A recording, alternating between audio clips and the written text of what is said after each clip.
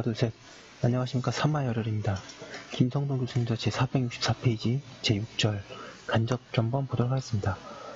사마열혈 TV를 절차해 주시고 추천, 업해 주시면 감사하고요. 유튜브 구독도 해주시면 감사합니다.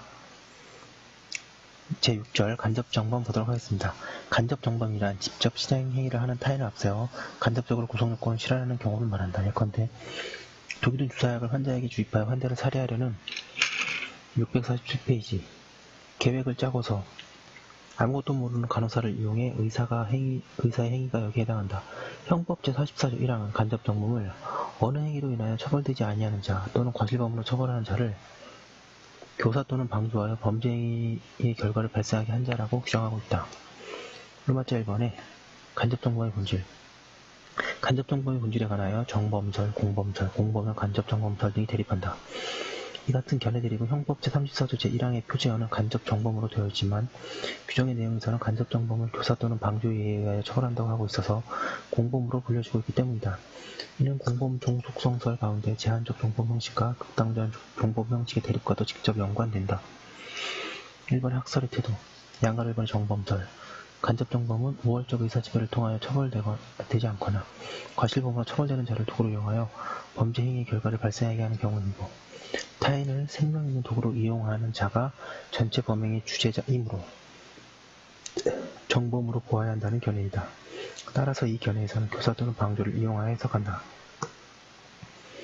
양가래번의 공범설 우리 형법상의 간접정범을 공범으로 보아야 한다는 견해로서 간접정범자의 처벌에 관해 형법이 교사 또는 방조의 예에 따라 처벌한다고 규정하고 있는 그 체계상의 위치도 교사범과 방조범이 뒤에 위치하고 있음을 근거로 둔다.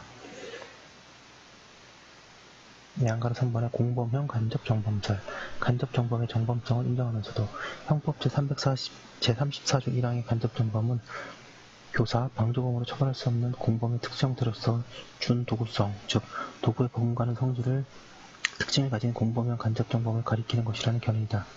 이 견해가 간접정범을 정범으로 보는 종래의 견해와 다른 점은 형법 제34조의 해석문상 피교사 648페이지 자나 피방조자가 처벌되지 않거나 과실범으로 처벌되는 소극적 요건만 충족되면 간접정범을 선포하는 것이기 때문에 우월적 의사지배라는 적극적 용서가 필요하지 않다고 한다.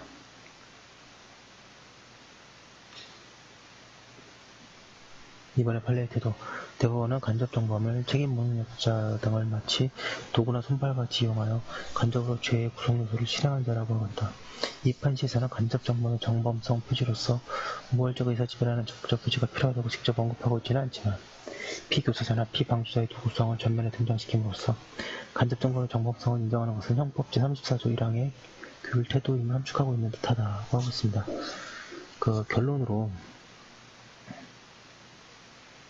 양가로 1번 공범설 및 공범형 간접 정범설과 정범설의 차이 공범설과 공범형 간접 정범설을 취하는 입장은 극단적 공범 형식을 전제로 삼아 공범 우위성 원칙을 출발하고 있다. 이 두 견해는 구성요건에 해당하고 위법한 행위를 하였지만 책임이 적합되는 자를 교사 또는 방조하여 죄를 범하게 하는 경우 공범 성립이 부정되고 이 가벌성의 공백을 간접 정범 규정이 보충해준다고 하기 때문이다. 이에 반해 정범설을 취하면서 제한정소 형식에 따르면 구성요건에 해당하고 위법한 행위를 하였지만 책임이 조각되는 자를 교사 또는 방조하여 죄를 범하게 한 경우 공범의 성립도 가능하고 형법 제34조 제1항인 간접정범의 성립도 가능하다. 따라서 이 경우에 정범 물성 원칙에 따라 간접정범의 성립 여부를 먼저 검토하여 이용자에게 우월적 의사지배가 인정되면 간접 정범이 되고 우월적 의사지배가 부정되면 공범 성립의 가능성만 남게 된다고 한다. 이번에 공범설과 공범형 간접정범설의 문제점 공범설은 형법 제34조 제 1항의 문헌 속에 규정되어 있는 간접정범죄의 처벌 문제를 공범, 정범의 구별에 관한 본질 문제로 호도하고 있다.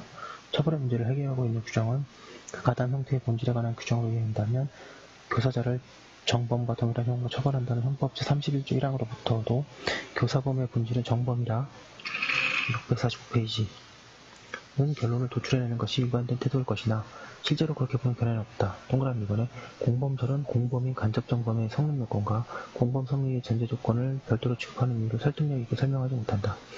공범설의 주장자들은 스스로 공범으로 범죄하고 있는 간접정범을 극단적 종속 형식의 테두리 속으로 넣지 않고 형법 제34조 1항의 틀 속에서 특별하게 취급하고 있는 이유를 공범 처벌의 불비를 막기 위함이 있다고 설명한다. 그러나 이러한 설명보다는 간접정범이 전체 범행의 주인공, 즉 행위 지배자, 우월적 의사 지배자이기 때문에 공범이 아니라고 아니고 아니라 정범이고 따라서 타인을 타인에 의해 종속되어 성립할 필요가 없다는 설명이 훨씬 설득력이 있다.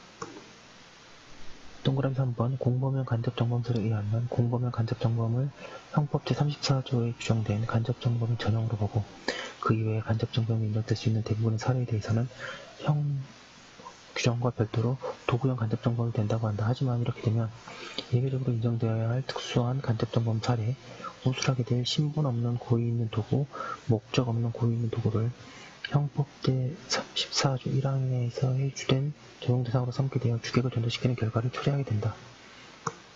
양가로 3번은 간접정범의 정범성과 우월적 의사지배, 형법 제34조 제1항이 설정하고 있는 가담자들을 상호관계를 사물논리에 부합되게 바라보면 간접정범자는 그에 의해 이용되는 자와의 관계에서 행위의 전체 진행 과정을 손아귀에 놓고 지배 조종하는 자로서 정범으로 보아야 한다. 만약 공범설에서 말하는 것처럼 처벌되지 않는 자나 과실범으로 처벌되는 자를 이용하는 자를 단순히 공범에 불과한 자라고 한다면 형법 제34조에 포섭될 수 있는 사례 유형에서 정범 없이 공범만 존재하는 결론에 귀착되고 말 것이다. 정범인 간접 정범의 정범 표지는 행위 지배라는 일반적 정범 표지가 구체화된 우월적 의사 지배이다. 우월적 의사 지배란 배후 조정자의 간접 정범자가 피이용자에 비해 상대적으로 우월한 의사 혹은 지식을 가지고 매개자의 행위를 지배 내지 종속하는 경우를 말한다. 이러한 의미에서 의사지배는 간접정범과 교사범 또는 방조범의 구별 기준이 된다. 하고 있습니다.